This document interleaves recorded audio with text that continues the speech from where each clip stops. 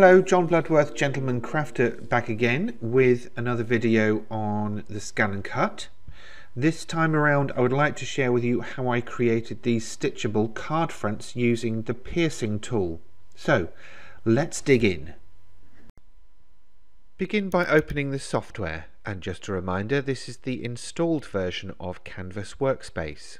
Then clear down any of the pop-up windows including news or pattern collections Maximize the workspace and zoom in to the work mat.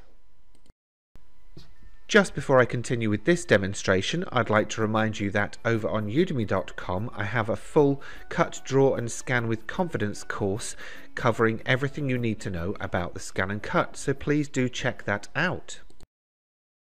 Okay, let's crack on with this demonstration showing you how to create stitched card fronts using the piercing tool. I'm going to set everything up in Canvas Workspace and then we'll transfer it to the machine and punch and cut it out. So I'm going to start with a basic square. I'd like to change it but I find that if I stretch a design like this then um, sometimes the, the corners when cut can be a bit rounded. So I'm going to try a different method for this video and see how we go.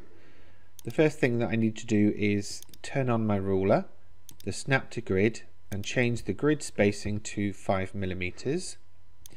Then I'm just going to push that square till it gets to the 0 x y point, so that's top left to you and me, and I can check that it is in the Edit tab. Then I'm going to click again on the square to enter the node editing mode. I'm going to select the bottom two nodes drag them down to about 14 and a half centimeters. Then select the two on the right and just drag those over one square so to about 10 and a half. That should give me a 105 by 145 rectangle which it did. Perfect. Okay. So I'll just bring that back into the work mat so that it doesn't go outside of the cutting area and then I will turn off the ruler turn off the snap to grid. Not essential to do that but I find it helps with the next stages so that I don't get all snagged up and visually overloaded. Next thing that I'm going to do is drag on a circle. Just a nice simple circle. Resize that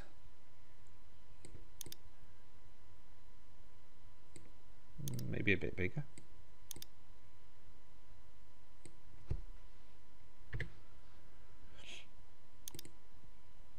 Next thing that I'm going to do is create an offset. So I'm in the edit tab, offset, 5 millimeters inwards bevel and delete the original shape.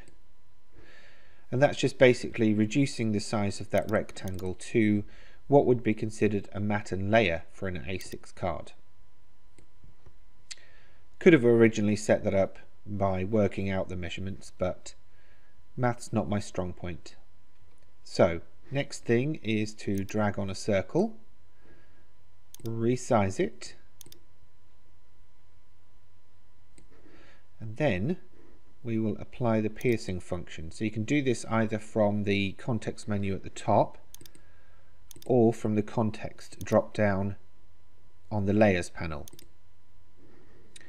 So when I select pierce you can see that that's now changed to a series of dots which will be punched through the card. In the properties tab I can change the spacing between those dots and for this kind of basic shape I prefer a spacing of, spacing of about 5 millimeters. So you can see that's there. I'll just copy and paste this card front now. Then I'll load up, uh, let's say a heart. Resize that. Oops.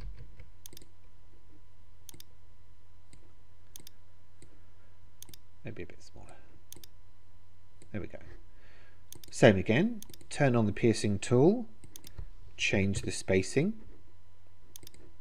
and there we go let me just quickly align those using the alignment tools in the edit tab. Might bring that one down a bit. There. Okay, another one. This time I'm going to try some text. So grab the text tool, type out my word, then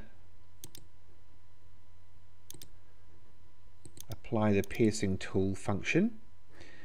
Now that's quite defined but it is very close together. They're only one millimeter apart.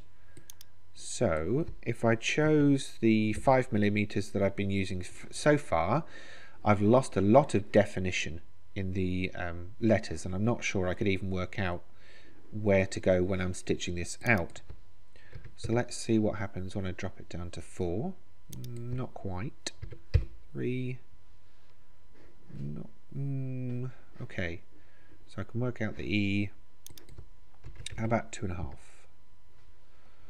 Okay, that works better. I can see the H, I can see the E and the central hole in the E. Um, does that work? Yes, it does. That goes there and that goes there. L, L, O. Okay, yeah, we can work with that. Uh, zoom to mat. I'm going to rotate it and I will resize it to be to take up quite a bit of space on the front of that card. I will align it as before and then let's try one more. So for this one I'm going to go into the layers tab and lock that rectangle in place. And that's because I want to work on top of it.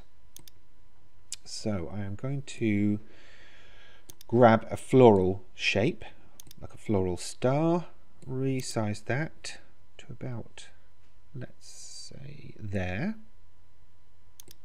Hmm. I'll rotate it a bit as well.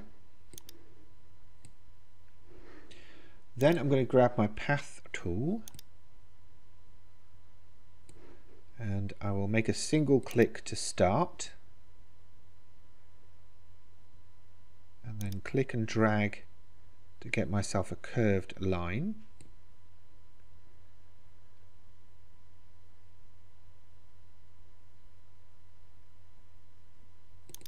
and a double click to set that in place.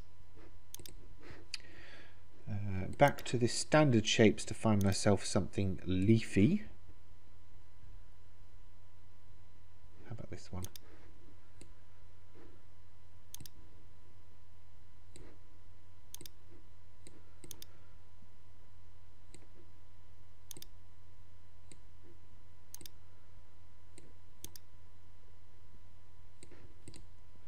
work. Might look better a bit further up the stem. Do I need another one? Copy paste. Let's flip that.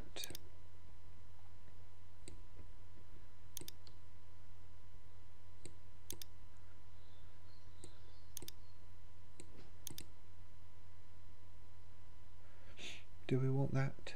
Do we not? I might just go with the single.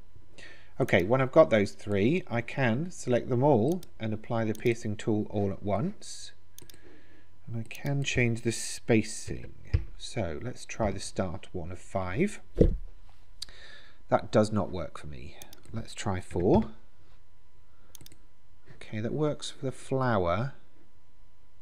Um, yeah, you know what? Let's keep that for all of them.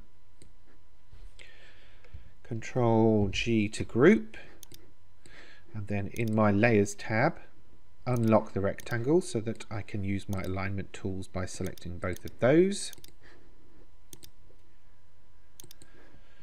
And there we go. In less than 10 minutes, four different stitchable card fronts have been created. So to get those over to my ScanNCut machine, I can either transfer via a USB using export FCM file, or I can transfer via my Wi-Fi connection using the other option. Next up, it's time to punch those out.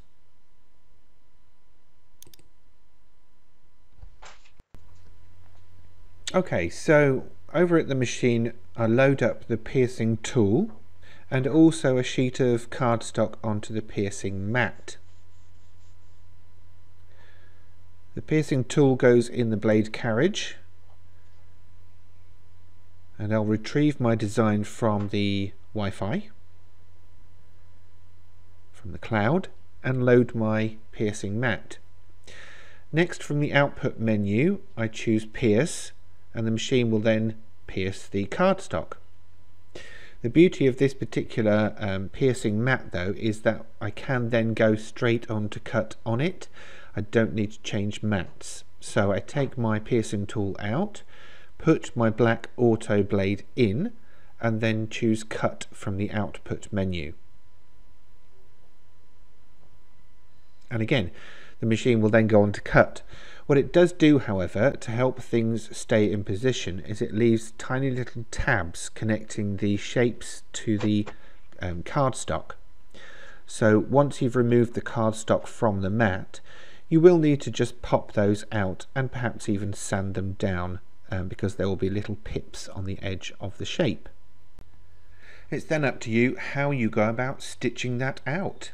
Here are a few examples of the ones that I did with this um, particular tutorial. Some are just straightforward backstitch and some are a bit more freestyle. So listen, have fun, play around and enjoy this technique.